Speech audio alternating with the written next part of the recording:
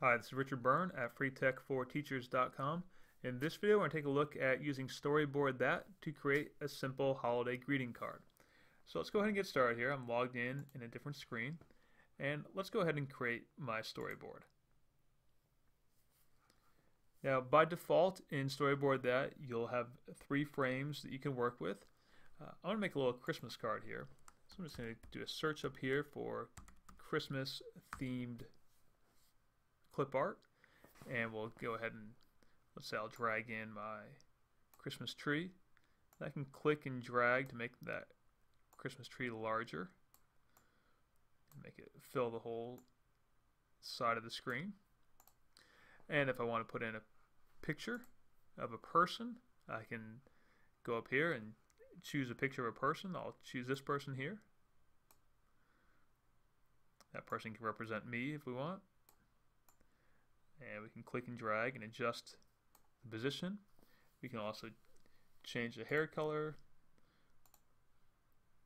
change the skin tone if we want to, different color eyes, shirt, pants, shoes. There we go. All right. And now we can go ahead and put in some text.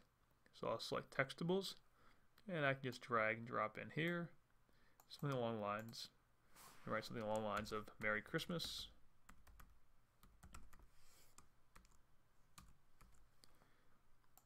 and I can change my font size and my font style here. I can even change my font color if I want.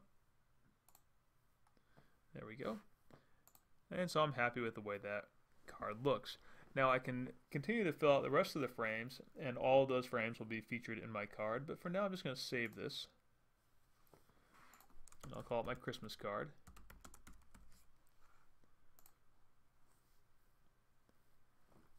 Now it saves in my storyboard that account.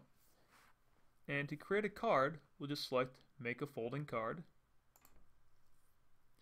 And you can ch choose the kind of card you want to create. I'm going to make a Christmas card. And I can choose any of these templates that I like. I'll use this one here. And you can see here there's my front side of the card, back side of the card, then I have a couple of inside parts that I can write in. So if I want to do a handwritten note in the card, I can certainly do that. So now I can just go and say that I want to print that. And I can save it as a PDF or I can change it and send it to any of the printers I have connected to my computer. I'll save as a PDF for now. So that's how you can create a simple holiday greeting card using Storyboard That.